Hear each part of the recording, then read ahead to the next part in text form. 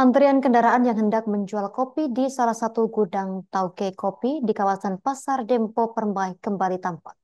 Kondisi ini disebabkan harga kopi yang kembali mengalami kenaikan setelah sempat anjlok. Saat ini harga biji kopi mencapai Rp67.000 sampai Rp69.000 untuk kualitas bagus. Harga ini kembali naik setelah sempat turun di angka Rp54.000 per kilogramnya.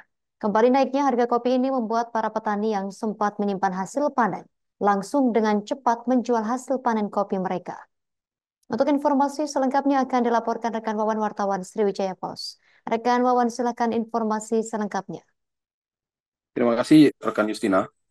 Kota Pagar Alam salah satu eh, daerah penghasil kopi terbesar di Provinsi Sumatera Selatan eh, di kisaran bulan 6 sampai bulan 9 itu adalah puncak masa panen.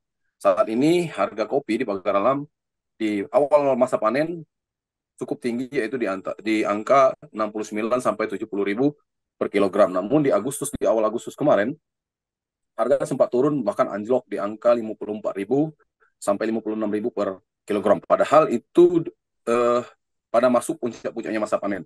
Hal ini membuat para petani kopi di Pagar Alam terpaksa harus menyimpan karena di, dikabarkan harga kopi akan kembali naik di penghujung masa panen.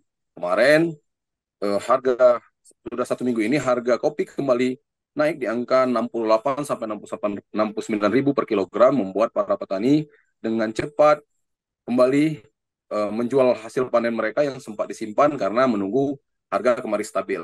Kondisi ini membuat oh, kawasan pasar Dempo Permai yang salah satu tempat toke kopi menjadi antrian kendaraan lagi seperti awal bulan uh, Juli kemarin.